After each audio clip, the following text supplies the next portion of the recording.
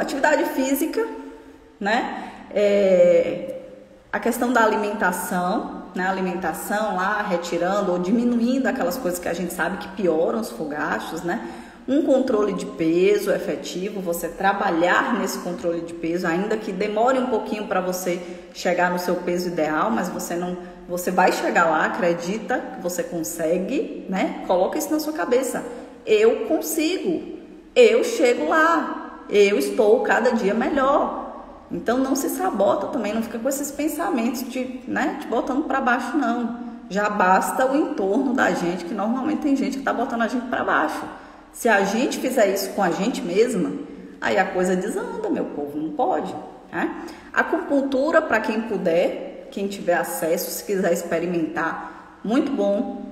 É, técnicas de meditação e relaxamento, de respiração, a yoga faz muito isso te auxilia nesse processo do relaxamento, da respiração, e vocês vão ver que quando esses, essas ondas começarem a vir, elas vão vir em menor intensidade, vão durar menos tempo também. Com tudo isso aqui que eu tô falando para vocês, né? Inclusive nessa hora que vem a onda de calor, se você puder parar e fazer aquele movimentação da respiração, respiração diafragmática, né? Que na yoga a gente aprende, encher o balão, é respirar e você perceber que sua barriga está aumentando, né? Estufa a barriga, enche o balão, esvazia o balão. Você faz esse movimento três vezes, quando vem a onda de calor, ela vai diminuir, ela vai passar mais rápido. Observa, faz isso. Inclusive, tudo isso que eu estou falando aqui, gente, está cientificamente comprovado. Tem estudos e artigos falando sobre isso, tá?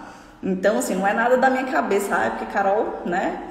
dá umas recomendações assim, não, tá tudo ali baseado, né? Baseado em estudos científicos, mostrando realmente uma relevância, tá?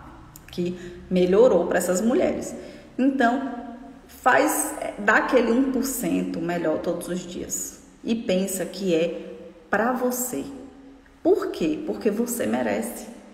Você merece ter uma vida melhor, você merece qualidade de vida, você merece ter saúde. Você merece viver o máximo, você merece dormir uma noite maravilhosa de sono. Por que não? Quem foi que falou que tem que sofrer, que tem que fazer um tratamento desse, que você tem que penar? Não tem, tá?